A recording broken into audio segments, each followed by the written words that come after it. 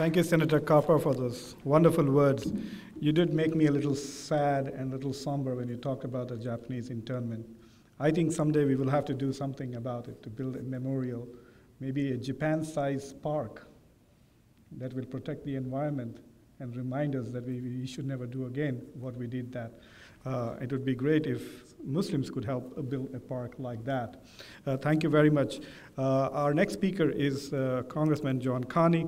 Uh, we had an interesting attempt to, to, to, get this coordinated. And finally, when we did get to talk, we had a very interesting conversation about uh, Congressman Carney's vision on especially uh, police uh, society relations. And I hope he will talk about it today. and I'm really looking forward to it. So without much ado, Congressman Carney.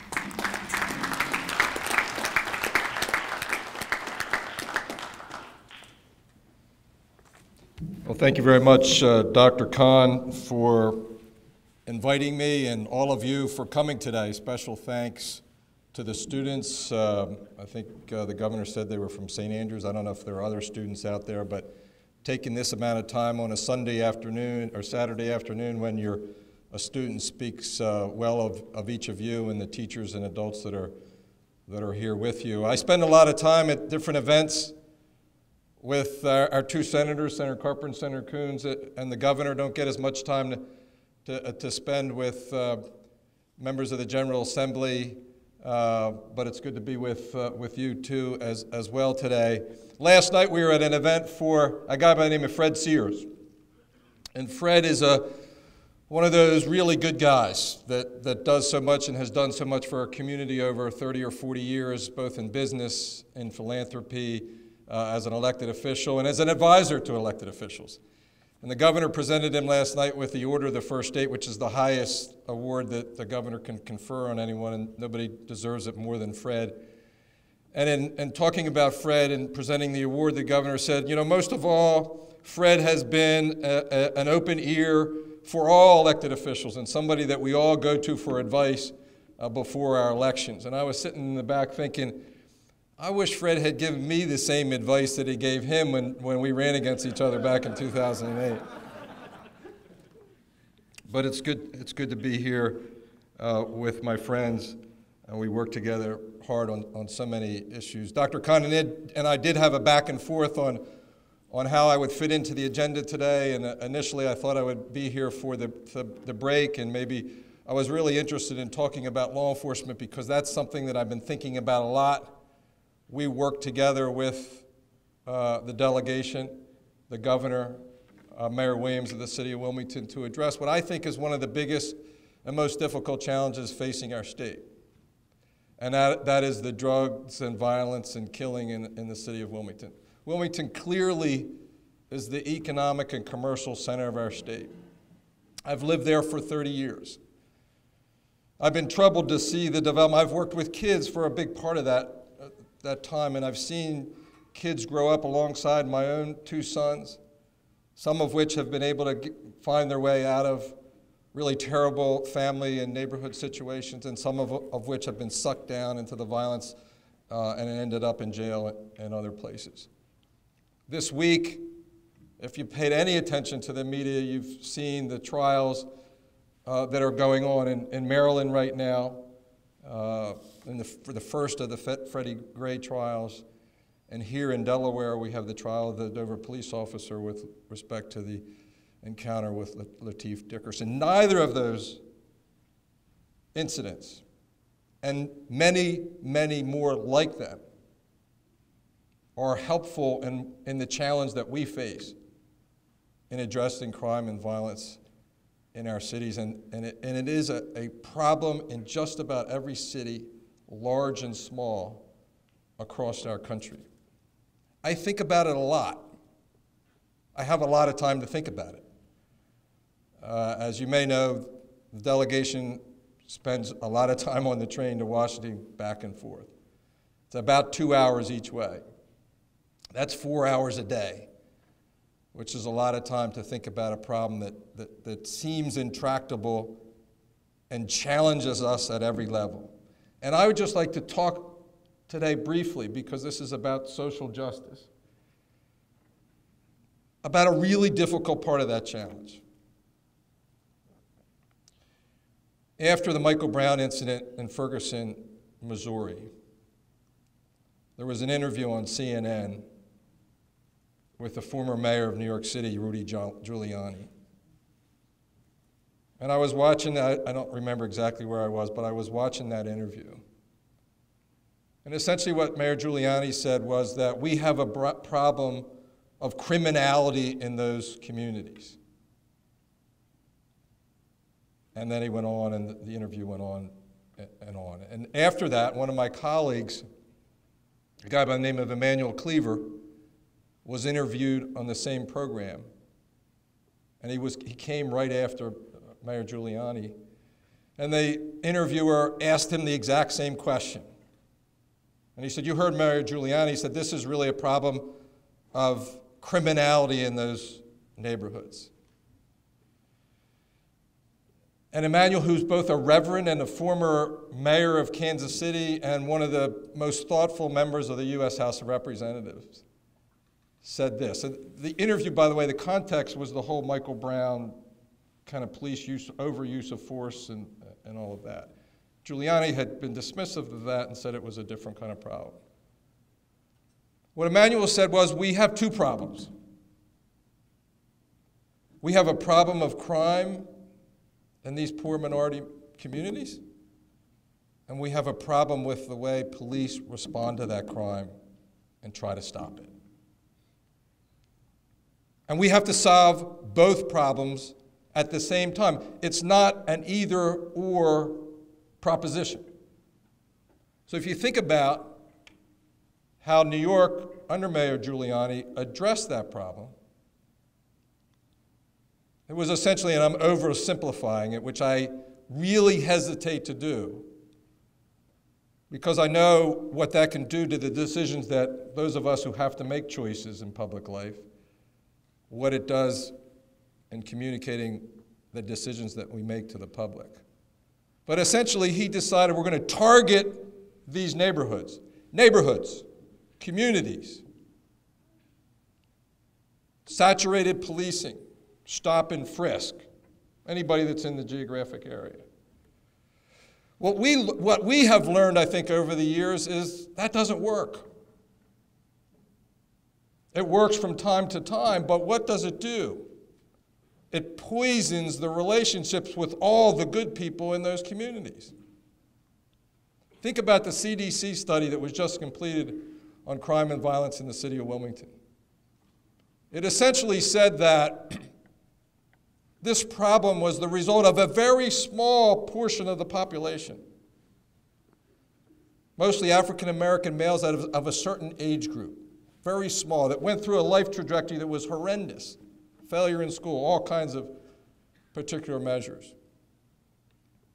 And at the same time, the vast majority of the people in those communities are good, law abiding people who are struggling to make ends meet. And so, when your law enforcement strategy is to target a community, everybody gets caught up in the net. The better way to do it is the way that I think we're trying to do it here in Wilmington with the leadership of a federal task force, if you will. Senator Coons was very instrumental in, in getting federal resources to address this problem, to be more targeted in addressing the individuals that are the perpetrators of this crime and violence and it's called predictive policing. And in some ways, it's an outgrowth of our ability using computers to crunch a whole lot of variables to identify higher risk populations. That's a better way to do it, but think about what I just said. You're using certain criteria to identify and target certain individuals. It's kind of the only way you have to do it. But it does mean that from time to time, you're going to get it wrong. It's not going to be perfect. And it has all kinds of implications about our constitutional guarantees with respect to search and seizure, with respect, with respect to innocent until proven guilty, and all the implications that that brings in terms of police and law enforcement relationships with the community. We had a, a young man who was shot and killed in a, in a wheelchair in the city of Wilmington, which again is being investigated by federal authorities. There'll be a, a trial and all of that. Nothing really worse can happen when you're trying to address real problems of safety and security and crime in communities than something like that. Because you start from the position where there's not very good relationships between the police and the communities in the first place. And then you overlay something that reinforces people's perception about law enforcement not valuing the human beings in those communities. Why do I bring this up today? Because there's been a lot of discussion over the last several weeks and where I go to work every day about global terrorism, and there will continue to be for days and weeks and months ahead. And we've talked about it in the earlier session. And the challenge for us and for the country is how do you fight terrorism and protect the security of all of us, everybody in this room, everybody in this state, and in our country, without violating the rights of, of all citizens and people who are here in our country. How do you do that? You certainly don't do it by targeting a neighborhood, targeting a religion, targeting a group of people. The only way you can do it is by trying to identify the real perpetrators and to, to think that that's easy, I can tell you, and I imagine Senator Carper, with the work that he does on Homeland Security, will tell you that it is not. Since I arrived in Congress in 2011, we've been debating back and forth the collection of data, all of our data, phone call data and, and internet data and all that. How much we should collect, whether the government should collect it, who gets to look at it, under what conditions, and on and on and on. One of the great things about this country is that those rights are guaranteed and that we have those debates all the time, constantly, back and forth, trying to strike that balance between liberty and security. And that's partly where a conference like this and all of you come in. Because we can't make those very difficult decisions with a lot of simplistic rhetoric. There, has been a lot of discussion about the presidential campaign, which I don't pay, I can't pay much attention to it anyway anymore, to be honest with you because of the way groups are targeted and because of the simplistic way that people are trying to touch nerves that exist out there among the constituents and the people that we, that we represent. These challenges are hard. And it needs all of us, all of you here at a conference like this, talking about the issues, having the panels, inviting your interactions with those of us who have to make those decisions, and having the dialogue that, if you were here for the last panel, is so important for creating the kind of comfort that's necessary so that people can live free and secure. Let me end by thanking the the organizers of the conference and thanking all of you for engaging on a Saturday afternoon. Thank you for the opportunity that you have given me to serve as your only representative in the House. I can guarantee you I go there every day with the intention of doing the right thing for the people that I represent. Thank you very much, and God bless you all.